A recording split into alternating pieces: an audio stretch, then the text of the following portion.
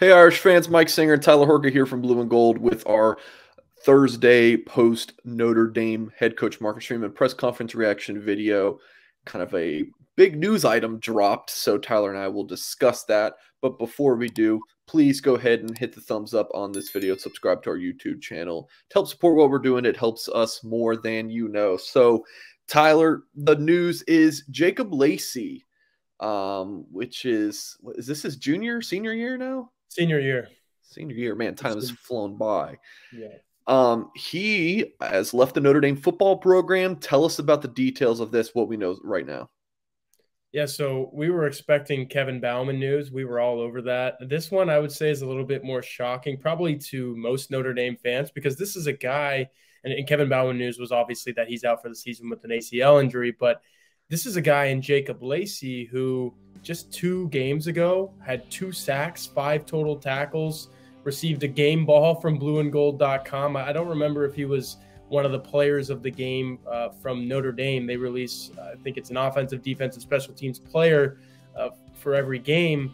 He, could have been that. He could have been the defensive player of the game for getting two sacks against, against Cal, really ma- making some of those plays. I know Notre Dame had six sacks in that game, but he had a third of them, and he, he made a lot of the plays that Notre Dame needed to make to win that game and to, to get their first victory of the season. So for this guy to be leaving, it, it's a bit of a shock. He played the third most snaps among all Notre Dame defensive tackles, only behind Jason Ademilola and Howard Cross, two guys who have been having a phenomenal season in their own right. Howard Cross was leading the team in total tackles there for a little bit. So to be the third guy in that rotation, which Notre Dame rotates uh, quite a bit at the defensive line. They only use a, a, core group of five or so guys in there as well. Would be Chris Smith, Gabriel Rubio is starting to work into that rotation, but to be the third guy in there and to play, I think it's 73 snaps through four games. That's not that bad. So it's it's, it's a little bit of a shock, but you got to think that a guy that, like I said, had two sacks against Cal was probably thinking, "Why am I play, playing half as much as Howard Cross. And again, I don't want to get into Jacob Lacey's mind.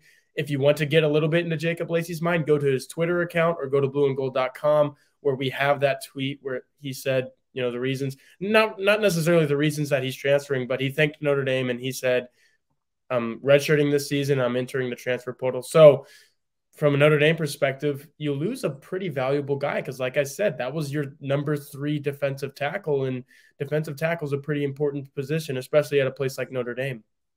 So, uh, just to give people an idea on his snap counts, he played 29 against Ohio State, 11 versus Marshall, 24 against Cal, and then just nine against North Carolina. 73 snaps on the season, like Tyler mentioned. Um, you know, played 247 snaps his freshman year back in 2019, but then didn't hit more than 170 the next two seasons. And I want to say he's kind of had some injuries that he's battled since, um, you know, eh, before this season as well. So, yeah, kind of surprising decision, Tyler. His stats through those 73 snaps five tackles, and then the two sacks that you mentioned that he had against Cal. So, um, I, feel like this is not a big loss for Notre Dame. I mean, Marcus Freeman talked about there is a great depth uh, in this interior defensive line, and uh, he mentioned two names that uh, Patrick Engel at Blue and Gold asked the question, like, who do you kind of see replacing Lacey Snaps? Freeman mentioned two names and then one guy who will come up from the scout team. Yeah, the two names are Chris Smith, the Harvard graduate transfer, who I don't know if he's been the flashiest player for Notre Dame, but he's been pretty good. He's he's played upward of 50 snaps. What is it, Mike? You have 46.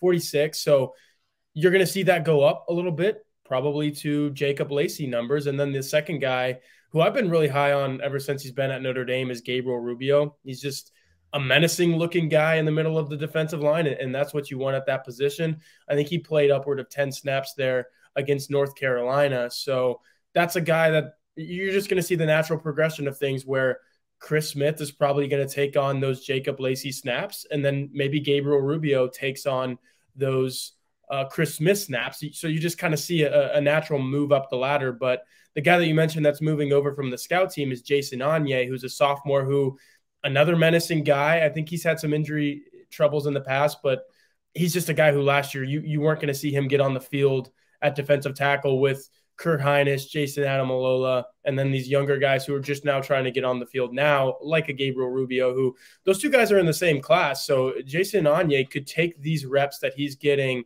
with the actual defense as opposed to the scout team and maybe move himself into the conversation with Gabriel Rubio, where we may be sitting here in November saying, oh, there's Jason Onye. He looks like a pretty good player. Maybe he could be a guy for us in 2023. I wouldn't expect a lot from him now because Notre Dame has that core rotation of four guys now without Lacey, but look for Jason Onye to be a guy that's making those natural moves into maybe getting on the field in 2023. Rubio, eight snaps against North Carolina and 14 on the season. And in terms of his uh, statistics, don't think he's recorded one. Uh, and for folks wondering why Lacey entered is entering the portal, which he's getting his degree, by the way, which is fantastic. I mean, it, it comes down to how much you're playing. I mean, like, why, why would you leave if you're playing a ton? Um, so you also have to factor in that he can redshirt. He's got two years of eligibility now. He had to make this decision now to retain that one year. If he stepped onto the field one time against yeah. BYU in Las Vegas this Saturday, he'd lose a whole year. So it's a business decision. You know, college football is a business at this point. Yeah. So yeah, he has not redshirted, so this will be his redshirt year. Um, so yep, good stuff there from Mr. Horka. Um, let's talk about the safety position. DJ Brown or Ramon Henderson, um, a little banged up, but they are good to go. Yeah, I saw Ramon Henderson on the field when I was down there at North Carolina, and he had a pretty. There's my dog again. Ollie, Ollie loves making his appearances.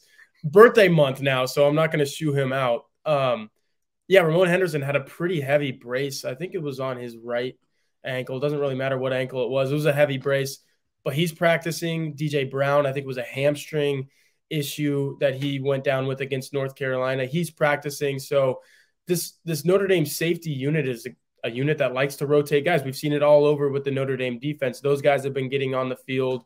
You got to factor in Xavier Watts. Obviously, Brandon Joseph has been playing quite a bit. Houston Griffith. So again, you have a handful of guys that like to play that Notre Dame likes to play at that position, and those two were two of them. So you kind of left North Carolina thinking, "Oh no, where's the depth at this position that has been really deep all year?"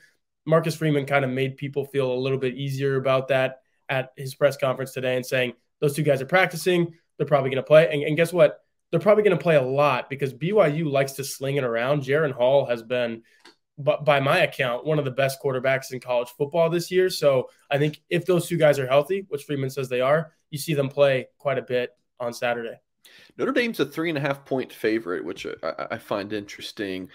I mean, BYU's, you know, what four and one, number ranked number sixteen in the country. Notre Dame two and two with a loss to Marshall.